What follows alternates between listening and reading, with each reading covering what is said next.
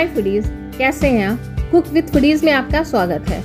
दोस्तों, हमारे व्यूवर्स की डिमांड थी कि हम तवा पुलाव की रेसिपी आप लोग के साथ शेयर करें। तो आज हम मुंबई स्टाइल तवा पुलाव बनाएँगे। तो आइए हम शुरू करते हैं तवा पुलाव बनाना। तवा पुलाव बनाने के लिए सबसे पहले हम चावल बनाएँगे। हमने एक बर्तन में डेढ़ लीटर पानी उबलने के लिए चढ़ा दिया है। और उसमें उबाल भी आ गया है। और उसमें हम एक छोटा चम्मच नमक डाल देंगे। इससे क्या होगा कि हमारे चावल खिले खिले और सफ़ेद बनेंगे बिल्कुल। अब इसमें हमने चावल है, वो डेढ़ कप चावल लिया था, उसको धो के अच्छे से दो घंटा पानी में भिगो के रख दिया था। उस चावल को हम उबलते हुए पानी में डालेंगे और हम इसे उबाल लेते हैं। देखिए, हमारे चावल उबलने लग गए हैं और इसको एक बार हम चेक कर लेते हैं, क्योंकि हमें बहुत ज़्यादा ओवर कुक नहीं करना है। हमारे चावल गल गए हैं। और इसी समय हम गैस को बंद करके इसको एक जाली में निकाल लेंगे। इसकी जगह आप बचे हुए चावल का भी इस्तेमाल कर सकते हैं इसमें। और इसको हम छानने के बाद इसको ठंडा करने के लिए चावल को रख देंगे। जब तक हमारे चावल ठंडे हो रहे हैं, तब तक हम भाजी तैयार कर लेते हैं। हमने एक तवा लिया है, बड़ा। लोहे का लिया है और इसमें हम एक बड़ा चम्मच देसी घी डालेंगे। और एक बड़ा चम्मच हम बटर डालेंगे। देसी घी में हमने बटर इसलिए डाला था कि हमारा बटर जलेगा नहीं और इसको मेल्ट कर लेंगे। इसका ओरिजिनल टेस्ट बटर में ही आता है, इसको आप बटर में ही बनाइएगा। और इसमें दो मीडियम साइज़ के हमने बारीक काट के प्याज रखे थे, वो हम इसमें डाल देते हैं। और इसको हम भून लेते हैं थोड़ा सा। हमें बहुत ज़्यादा नहीं भूनना है। दोस्तों, अगर आपको हमारी रेसिपी पसंद आती है तो लाइक और कमेंट करिए और अपने फैमिली और फ्रेंड्स में इसको शेयर करिएगा। और हमारे चैनल को सब्सक्राइब करिए और बेल आइकन पे क्लिक करना बिल्कुल मत भूलिएगा। अब इसमें हम एक बड़ा चम्मच लहसुन का पेस्ट डाल देंगे और इससे, इसको भी थोड़ा भूलेंगे जिससे उसका लहसुन का कच्चापन ख़त्म हो जाए। इससे फ्लेवर बहुत अच्छा आता है।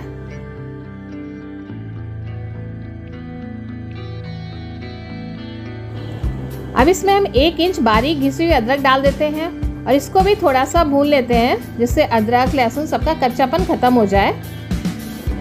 देखिए, सबका कच्चापन ख़त्म हो गया है। अब इसमें हम तीन से चार बारीक कटी हुई हरी मिर्च डाल देंगे, इसको भी थोड़ा भून लेंगे। और इसमें एक मीडियम साइज़ की शिमला मिर्च है उसको बारीक काट के हम डालेंगे। और इसको भी हम भूनेंगे। और इसी समय हम एक बारीक कटी हुई मीडियम साइज़ की गाजर है, उसको भी हम डाल देंगे। और इसको भी हम भून लेंगे।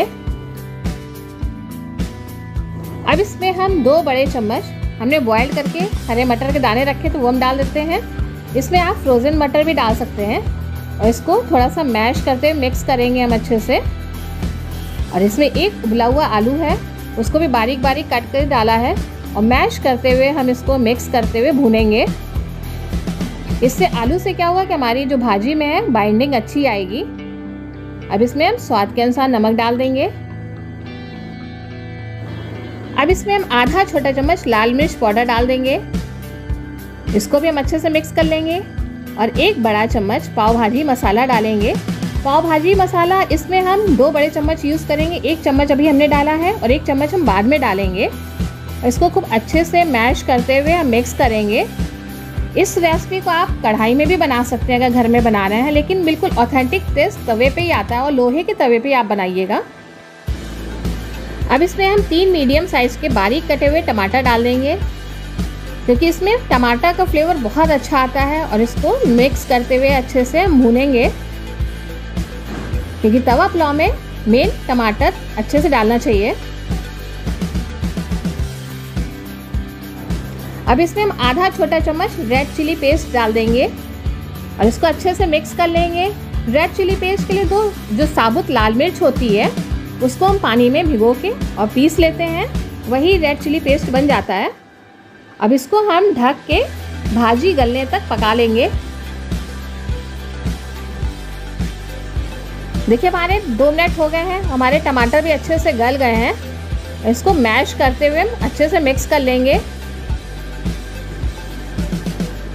इसको मैशर से मैश करेंगे थोड़ा सा, जिससे बाइंडिंग अच्छे से आ जाए। बहुत ज़्यादा भी मैश नहीं करेंगे, जिससे सब्ज़ियाँ अलग अलग भी थोड़ी सी लगे। और हल्के से मैश कर देंगे कि आलू है और ये सब चीज़ अच्छे से मिक्स हो जाए।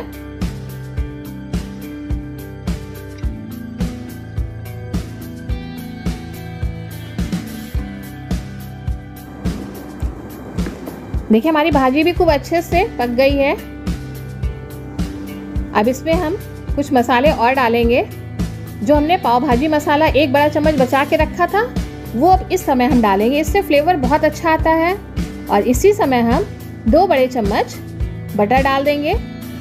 इससे पुलाव में फ्लेवर बहुत अच्छा उभर के आएगा और इसको भी अच्छे से मिक्स कर लेंगे हम। और ऊपर से इसमें फ्रेश थोड़ा सा हरा धनिया डाल देंगे और इसको भी मिक्स कर लेंगे।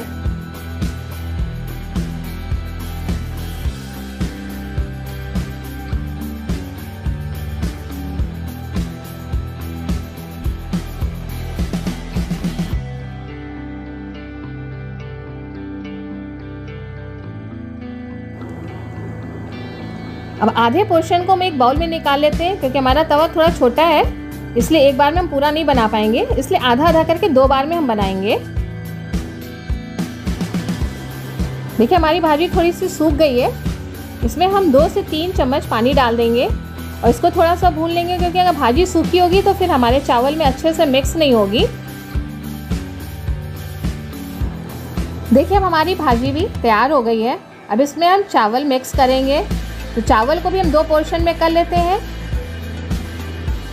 और थोड़े थोड़े चावल डाल के हम इसमें मिक्स करेंगे। बाकी जो भाजी हमने निकाल के रखी थी, बाकी के चावल हम उसमें डाल के फिर मिक्स करेंगे।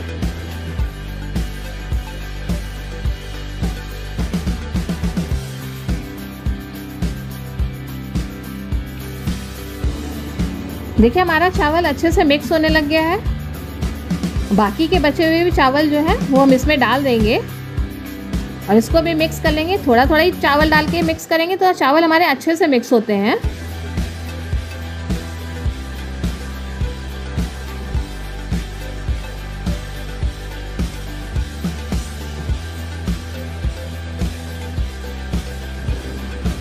इसको खूब अच्छे से मिक्स कर लेंगे हम। ऊपर से हम इसमें हरा धनिया डाल देंगे। दोस्तों, हमारा मुंबईया तवा पुलाव बिल्कुल रेडी है। इसको आप गर्मा गर्म रायते हैं और प्याज के साथ सर्व करिए। दोस्तों, आपकी भी कोई रेसिपी की डिमांड हो तो आप कमेंट करके मुझे बताइए। मैं पूरी कोशिश करूँगी उस रेसिपी को आपके साथ शेयर करूँ। दोस्तों, अगर आपको हमारी रेसिपी पसंद आती हो तो प्लीज़ लाइक शेयर कमेंट्स और हमारे यूट्यूब चैनल को सब्सक्राइब करिए। और बेल आइकन पर क्लिक करना बिल्कुल मत भूलिएगा, जिससे आपको हमारी रेसिपी की नोटिफिकेशन सबसे पहले मिले। दोस्तों, आप मुझको अदर प्लेटफॉर्म पे भी फॉलो कर सकते हैं, जिसका लिंक नीचे डिस्क्रिप्शन बॉक्स में वहाँ से देख सकते हैं। दोस्तों, हम फिर हाजिर होंगे एक नई रेसिपी के साथ। नमस्कार।